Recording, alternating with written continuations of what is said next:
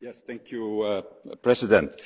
Uh, I have uh, carefully listened to you, uh, Prime Minister, uh, for, for 30 minutes. For me, uh, even when you have spoken now, I, I, I would have silently listened to you. But you, you didn't talk about the ruling of the, the Constitutional Court.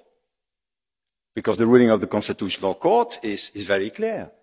Article 1 and Article 19 of the treaty are null and void in Poland, are in contradiction with the Polish constitution. That's the decision of the Constitutional Court in Poland.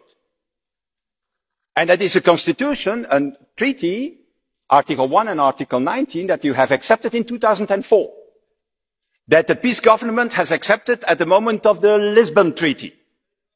And these Article 1 and Article 19, you know what it is. Article 1 is an ever closer union. And Article 19 is the central law, a role of the European Court of Justice. By the way, it's exactly for the same reasons that the hard Brexiteers went out of the European Union. For these two articles, Article 1 and 19.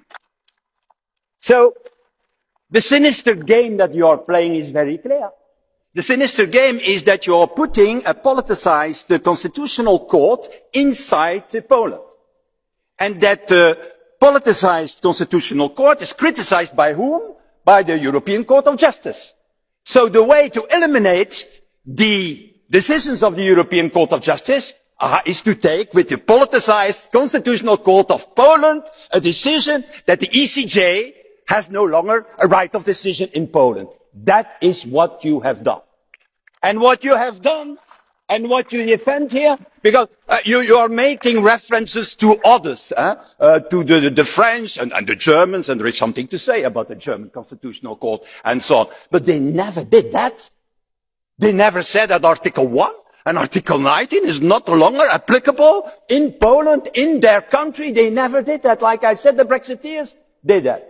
So what you have done is in fact putting an existential threat to your country and most of all to the people, to the Polish people who are the most pro-European people of the entire European Union. That is what you have done. And that remembers me, that remembers me, that remembers me something very dramatic in European history.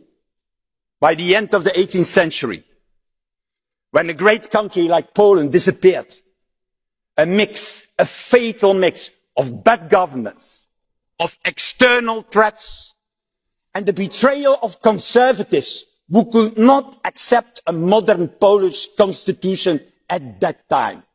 Well, I am the only one who sees some fatal resemblance here by what is happening today in Poland. So, I have to tell you, I know that you are a historian. I know that you are a historian, Prime Minister. So I wanted, in fact, to start my, my speech and to end my speech with a, a classic historical book, The March of the Follies of Barbara Tuchman, because it remembers me what is happening in Poland today. It starts with a simple decision and it goes in another decision and a further decision, and that is when the folly starts. It's in fact not people who want that, not the ordinary Polish citizens, it's the ego of big power players who are not thinking what will be the disaster at the end of the story. So my wish, Prime Minister, is please come back to these stupid decisions and end, together with the Polish people, this march of the folly that you have entered in 2050.